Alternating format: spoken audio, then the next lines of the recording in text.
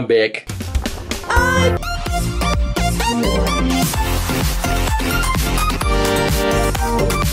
Alright, what's up guys? Welcome back to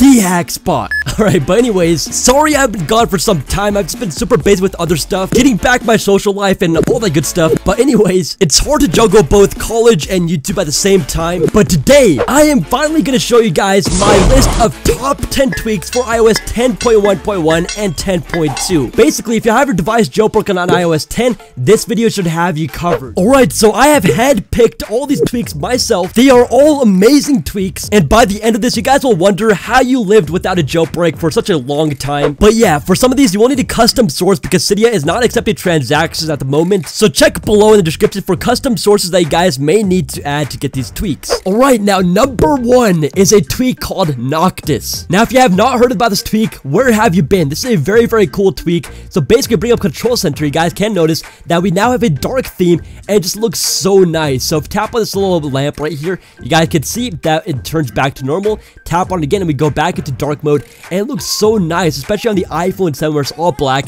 And by the way, this iPhone 7 is on iOS 10.1.1. I would have made this video on 10.2, but this 6S is cracked. And this 6S that's on iOS 10.2 jailbroken actually has a cracked screen. I was playing basketball, it was in my pocket, and boom, we got a cracked screen. It's pretty bad. Need to get these two fixed soon. But yeah, Noctis is a very, very beautiful looking tweak. You can also give it a different tint if you want it to be a different color too. So overall, I do love this tweak a lot. There's a lot in the settings too, so check it out. And number two on this list is called CC Recorder. Oh my god, this tweak is definitely worth the money. If you record a device screen a lot. So basically, let's go back over here. You guys can notice the theme. There's a bunch of the control center, but anyways, there's a new icon at the bottom right, and this is completely worth the money. So let's tap on it. You guys can't see on the top right, it's very small. You guys can see we have a little camera icon right there okay? So it is recording my device screen. I can go and move around. It's so so fluid. Wow okay so basically once you want to stop recording you can just go bring this back up tap on that button and there you go. Now it's not highlighting anymore so you're good to go. You can go to your photos app. All right so here in my camera roll there it is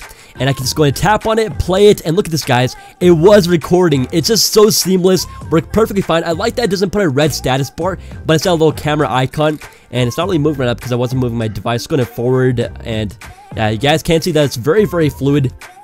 Boom. And yeah, from here, of course, you just go ahead and share it wherever you want. Just tapping right there. And you guys can share on YouTube, wherever you want, airdrop it. But number three is called add-on for action menu. Now, this is another very, very simple tweak that can be very, very useful in the long run. So basically, as jailbreakers, we add sources a lot. Now, wouldn't it be a lot simpler if you could just go in and just copy the URL and add it as a source of just going back into Cydia and adding it? It probably didn't make any sense, but let me just go and demonstrate. So go into Safari. Here's a source that we want. We're at the website of the source. So you just go tap right here. And now I'm going to tap and hold on this and bring this up, I go and select all. And there you go. We have the add as repo button. So all you got to do is tap on add as repo. It'll go and bring up Cydia. Look at this, guys. And all you do now is tap on install the source just like this. And look at that, it's going and installing the source. Very, very easy to use. And yeah, I love this tweak a lot. Make it so much faster to just add a source that you guys see and want to add because of a certain tweak. And it's really, really cool. Now, just so you know, to get this to work, you do have to have HTTP and the two dots and then the slash slash to make it to, to make it work. So if it's just like, one second, like this, then it will not work. You guys can see that there's no option, but we just got to add in the HTTP. Go back over here this slash slash and now it should work so again select all and there it is, add as repo. Just thought I'd give you guys a little pointer. And guys, this list just gets better and better. This next tweak on 4, yep, the fourth tweak on the list is called Gorgon. I don't know why, but this name reminds me of Zelda, this little, like, things that roll around, if you guys know what I'm talking about. Of course, it'll only work if you're inside an application, so let's go and open up, let's say, Twitter. Alright, so I'm just gonna go ahead and just swipe over from the side, and look at this, guys. I can multitask on my iPhone 7 or any other device using this, so I to open up another app, let's say, I don't know, let's just do Cydia. So it's going to bring up Cydia 2 and look at this guys. So now I can multitask on my device very efficiently. I can just go and swipe over like this and I have Cydia right there. If I want to pull up my notes, I could do that too.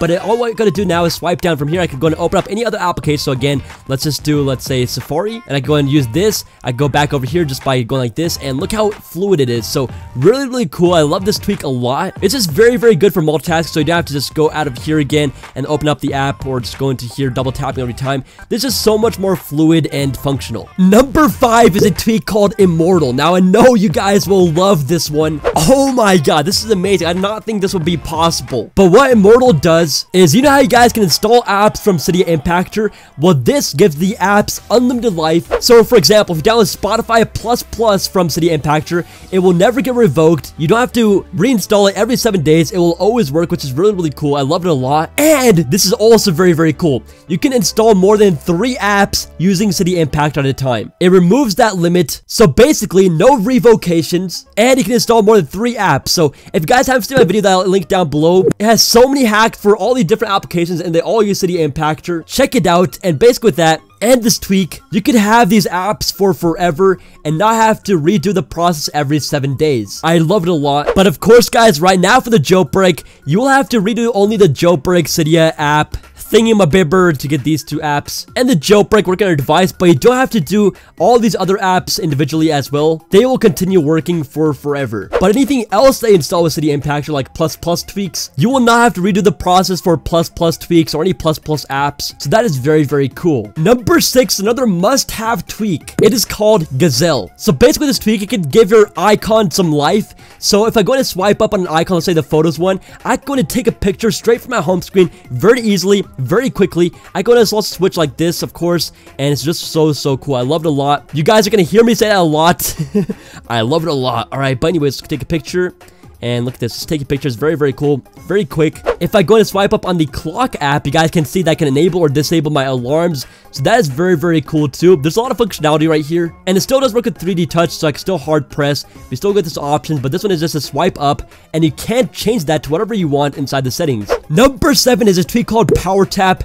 Again, this is a very intuitive tweak. So basically, if I hold down my lock button right here, keep on holding down until we get that little power off toggle right here. You guys can see that says slide to power off like normal, but if you're going to tap on this toggle right here, and now it says slide to reboot, tap on it again, slide to respring, tap on it again, slide to enter safe mode, and once more we're slide back to slide to power off. So it does work really, really well. Guys going to use this toggle for anything. I use it a lot for respring my device or rebooting. It's very intuitive. It's like it's already built into the OS. Up next, we got Horseshoe, and this is number 8 on the list. So if we go back to Control Center, you guys can see that we now have music in the same spot again. So it's very, very cool. I hate having those multiple pages, especially when trying to turn up and down the brightness or volume. It's so, so annoying. I don't know why Apple did that. Come on, Apple. But anyways, as I see, we only have one page now, and we have our music showing right there. And there we got a brightness control toggle right here and volume, so it's all one. Well, how does this work? We have our volume going up and down. Now if I go and tap right here, now we have our brightness. So I can go and change my brightness from here as well, just like this. And again, tap back over here, now I can adjust the volume again. So very cool tweak. It puts that all in one place again for you guys. This one is another must have. Next, we got TapticKeys. Now this is especially cool on the iPhone 7. On the iPhone 7, you can adjust how intense the vibration is. But basically, if I go and bring my keyboard, now my keys vibrate every time I touch on them. It feels so nice. I love having feedback. So it just feels so cool, especially if you go like this. You guys have to feel for yourself on the iPhone 7. It just feels really, really nice. I mean, on iOS, you have feedback everywhere. Even when you bring that control center, you feel a little bump. And same thing with the control center, if you go and bring it up, you feel a little bump. But there's nothing with the keyboard, so I really love having it on the keyboard. Feels so cool. And in at number 10, we got Grasshopper. This brings picture-in-picture -picture to every single iOS device out there, so it's really, really cool. Of course, with the iOS 10 jailbreak, let's go and bring up Safari. Let's go and load up a video of mine. So here we are, and let's go turn volume up, I guess. And now we have a new icon right there for picture-in-picture, -picture, so you can go tap on this icon, and look at that. Now I can go anywhere on my device, let me go and turn the volume down. But look how cool this is. I can move this anywhere on my device and use my device however I want. Multitasking is amazing. Of course, you can pinch to zoom to make it bigger or make it smaller. Put it anywhere on your device. Turn it like a bit so you can go play around with it uh, get some cool effects.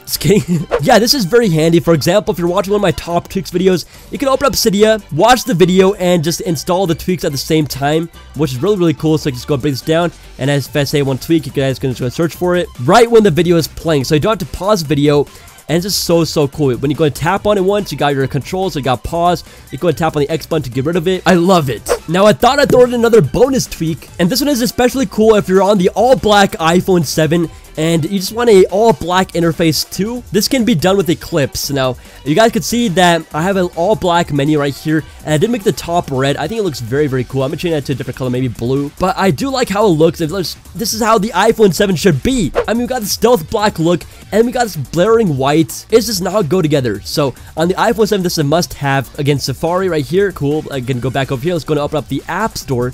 And you guys can see that again, the same theme right here. It just looks so, so cool. Look at this, guys. Alright, so as always, really do hope that you guys enjoyed this top tweaks video. Definitely smash that like button and subscribe if you do want more of these. And stay tuned because I have so many more exciting videos planned, some that are very unexpected. But yeah, it's going to be exciting, so get subscribed, and I'll catch you guys real soon in my next video.